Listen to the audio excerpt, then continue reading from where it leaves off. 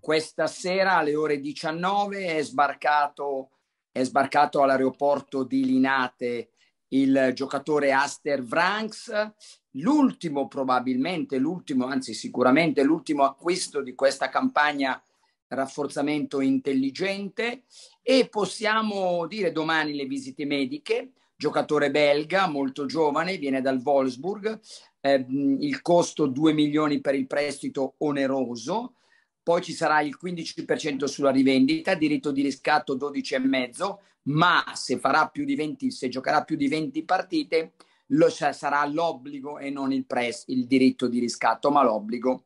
Quindi il Milan pagherà 12 milioni e mezzo, centrocampista di fisicità, di potenza, ma anche di talento. E allora possiamo considerarlo, Alessandro, il primo acquisto dell'era Red Bird. Ah, eh, sicuramente perché oggi è anche il giorno in cui si, si, è ufficializzato questo cambio di proprietà, quindi è un giorno eh, forse storico nella storia del club, perché ogni volta che L'ho c'è definito epocale.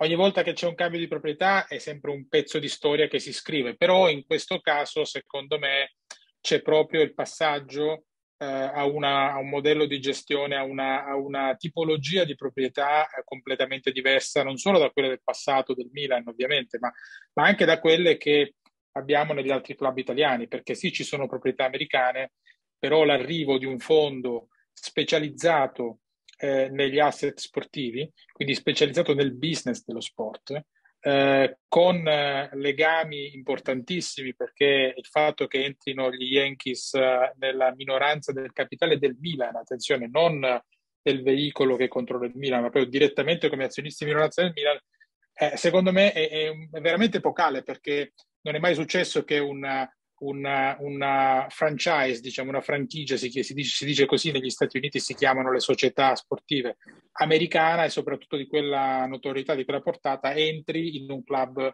italiano di, di Serie A. Quindi ci sono tante novità che, che, che Milan, di cui il Milan potrà essere un laboratorio nei prossimi anni. Mai avremmo pensato di dire grazie, grazie, grazie, grazie Fondo Elliott.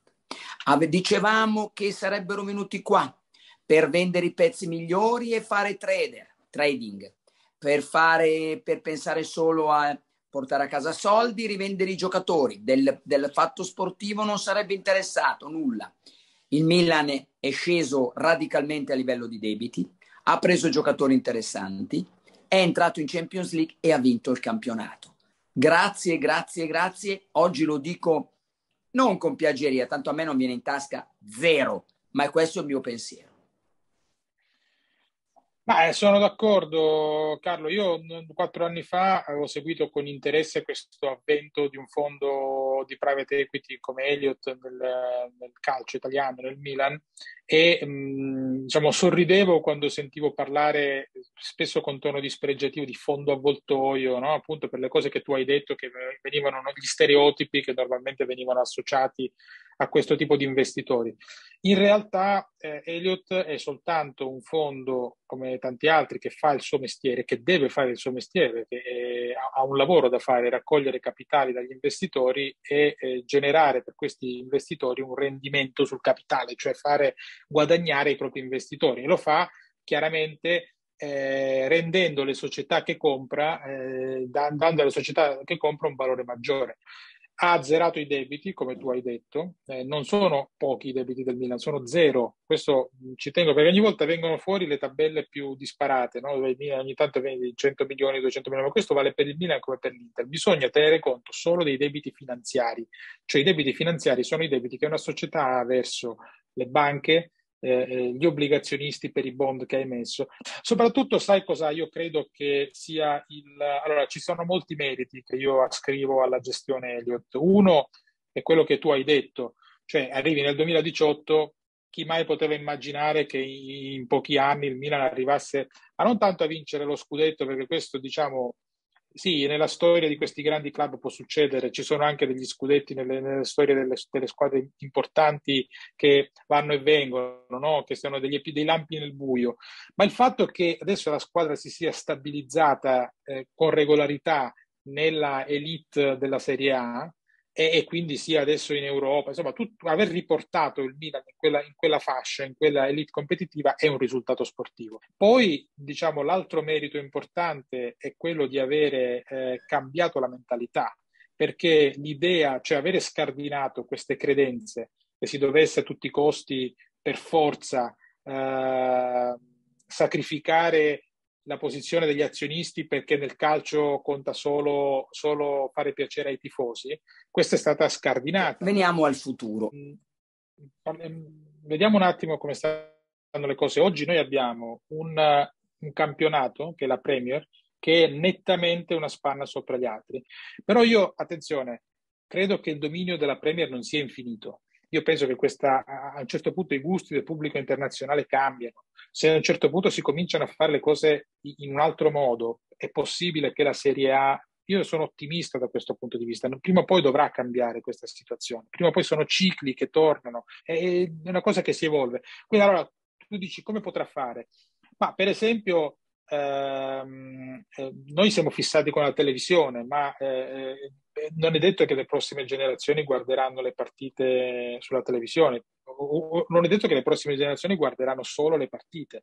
Cioè, I ragazzini guardano i contenuti sugli smartphone, non guardano forse più neanche la televisione, non guardano forse più neanche una partita intera, quindi bisognerà cominciare a trovare forme immaginative, creative di coinvolgimento e di allargamento del pubblico. Non è soltanto lo sponsor o trasmetto la partita negli Stati Uniti. Sì, questo inizialmente potrà fare la differenza, ma è un progetto secondo me a dieci anni che coinvolge anche il modo in cui tu trasformi una società di calcio da un semplice evento che si svolge sul campo di calcio eh, momento della partita in un qualcosa di emozionante nel, eh, nel, nel, che, che, che, occupi tutto l'arco della giornata della settimana di, di, di, un gran numero di telespettatori.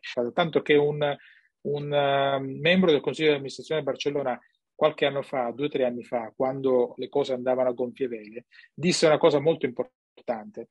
Disse il nostro principale concorrente non è il Real Madrid, sbagliate se pensate che noi guardiamo il Real Madrid come concorrente. Sì, concorrente sul campo, ma il nostro principale concorrente è Disney, perché noi produciamo contenuti, produciamo emozioni che non, sol- che non si esauriscono il giorno della partita o nel momento della partita, ma che devono vivere eh, sempre. E secondo me Redbird seguirà questo modello.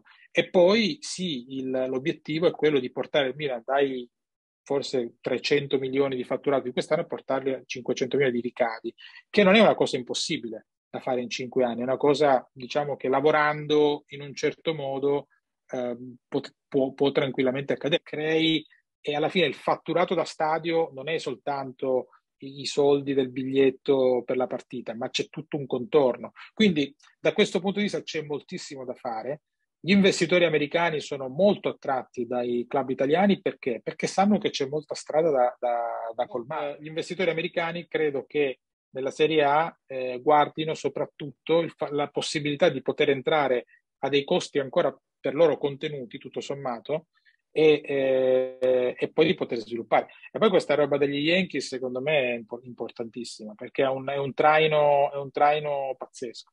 Con un aumento di ingaggio, Leao è un biglietto da visita, secondo me, il fondamentale prima che l'acquisto di gennaio della prossima stagione. Guarda, io eh, credo che la, le logiche di gest- il modello di gestione del, della, della, società da Elliott a Redbird non cambierà molto, migliorerà sicuramente quel, su quel fronte della, della, della, generazione di cavi perché è il mestiere di Redbird. Dal punto di vista del, di quello che tu dici, io non credo che Cardinale si presenti eh, eh, scontentando i tifosi su un, su un, argomento come quello di Leao, per un semplice motivo. È vero che Elliott e Redbird seguiranno le stesse logiche, però rispetto a Elliott, Redbird è un pochino più attento, eh, deve essere un po' più attento al senso di community, a comunicare, a trasmettere un'idea di una società che cresce, di una società che diventa sempre più competitiva. Proprio per attirare altri investitori. Esatto, ma anche altri, altri tifosi, altri fans. Allora io credo che presentarsi subito con eh, Leao che parte sarebbe un po' come tradire questo messaggio, questo, spezzare un po' questo filo rosso.